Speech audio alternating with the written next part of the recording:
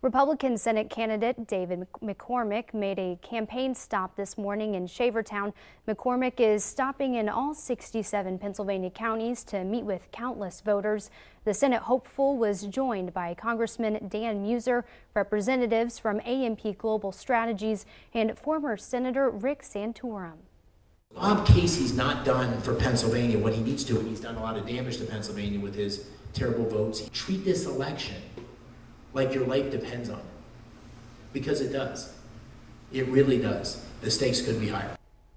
Both incumbent Democratic Senator Bob Casey and McCormick will be on the primary ballot on April 23rd.